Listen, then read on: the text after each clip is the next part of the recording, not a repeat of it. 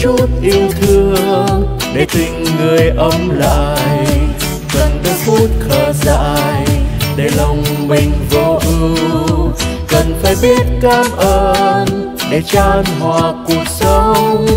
Cần làm đường sao động để cảm nhận bình yên.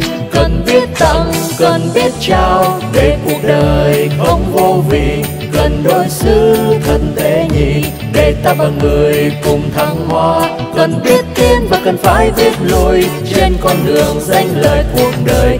Và cần phải biết luôn luôn làm mới. Để mỗi tháng ngày được hạnh phúc hơn. Cần cho chân cứng để đã phải mềm. Lòng không lùi bước vượt qua trở ngại. Và cần nên biết đôi khi bày tỏ. Để ta và người thôi niềm cách ngờ.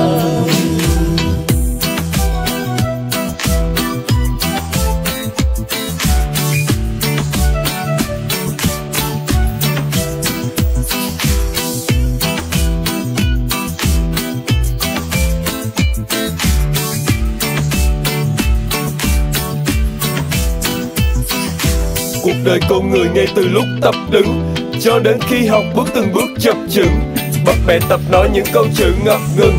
Chuẩn bị trước mắt cho chuyến phiêu lưu nghìn trùng.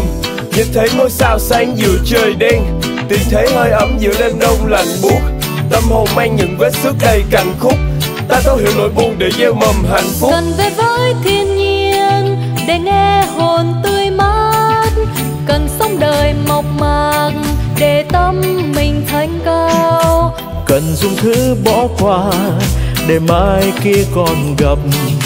Cần biết sống tự lập để trưởng thành vươn lên. Cần biết tặng cần biết trao để cuộc đời không vô vị. Cần đối xử thân tế nhị để ta và người cùng thăng hoa cần biết tiến và cần phải biết lùi trên con đường danh lời cuộc đời, và cần phải biết luôn luôn làm mới. Để mỗi tháng ngày được hạnh phúc hơn, cần cho chân cứng để đã phai mềm. Lòng không được bước vượt qua trở ngại, và cần nên biết đôi khi bày tỏ. Để ta và người thôi niềm cách ngờ. Cuộc đời là bức tranh muôn màu, muôn vẻ, và không phải mọi việc lúc nào cũng suôn sẻ. Đối mặt trong gai bằng tiếng cười vui vẻ thứ cần làm là giữ cho tâm hồn luôn trẻ. Ta học cách làm sao để lùi một tiếng mười. Và gọi đó là lấy đà thay vì biến lười. Mặc kệ cuộc đời này có đầy miệng lưỡi. Mở cửa trái tim và cùng chào tiếng cười.